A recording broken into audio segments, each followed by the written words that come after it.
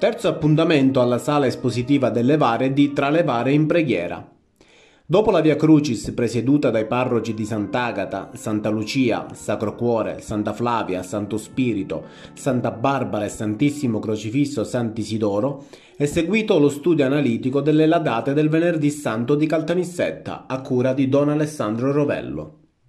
Le ladate o lamentanze sono antiche forme di canti religiosi, cantati durante i riti della settimana santa. Sono stato chiamato a fare una riflessione sulle ladate, che sono un momento della pietà popolare della nostra città, in un contesto particolarissimo che è quello della sala espositiva delle Vare. E sono, dicevo, felice perché eh, si crea un, un, incontro molto bello tra la spiritualità, la cultura e le tradizioni popolari, la nostra pietà popolare, che così recupera un suo valore più profondo, più bello e ci aiuta nel nostro cammino attraverso il tempo anche quaresimale verso la gioia e la festa pasquale.